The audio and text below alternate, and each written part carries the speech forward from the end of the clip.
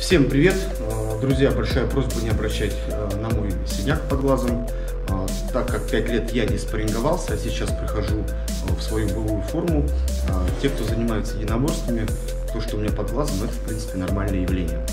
А Сейчас я хотел бы подвести итоги творческого конкурса в спортивно-патриотическом клубе «Яропол», который был приурочен к празднованию Дню защитника Отечества. А, Задача воспитанников, всех желающих воспитанников клуба «Яропол» а, была изобразить либо в поделке, либо в рисунке, а, соответственно, праздник и занятия в клубе «Яропол».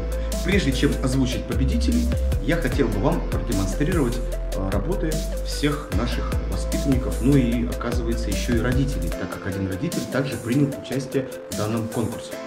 Уверенность и сила, мощь современных орудий. Гордость от того, что все это заслуга русских. АК-47, легенда военных историй. Граница на замке, пока что рука на затворе.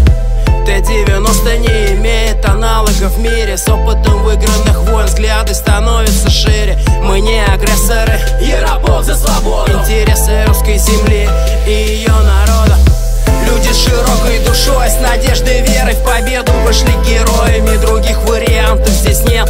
Нашим бы в годы войны калашников топали Ярцы враги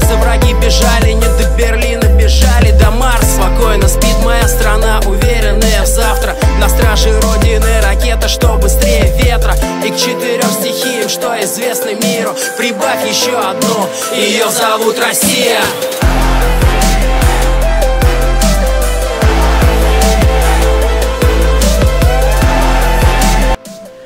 В конкурсе приняло участие 15 человек.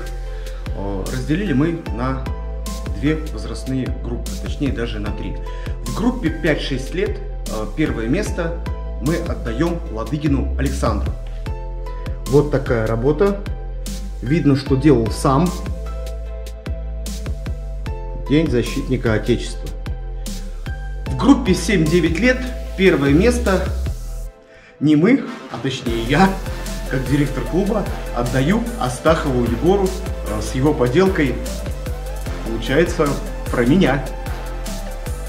Ну Вот мы видим портрет директора клуба Ярополк. Он это выжигал, делал сам. Молодец. Талантливые дети, талантливы во всем.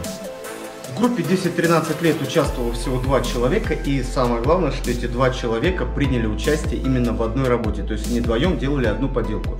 Это представители э, прекрасного пола, группа 10-13, Свиридюк Полина и Костюк Вероника. Они получают э, памятные подарки.